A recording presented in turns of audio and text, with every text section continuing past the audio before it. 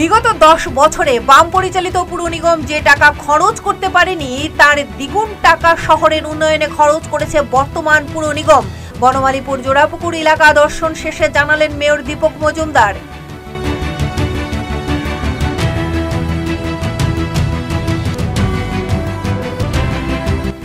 এ সময়ের ব্রেকিং বিগত দশ বছরে বাম পরিচালিত পুর নিগম যে টাকা খরচ করতে পারেনি, তার দ্বিগুণ টাকা শহরের উন্নয়নে খরচ করেছে বর্তমান পুর নিগম।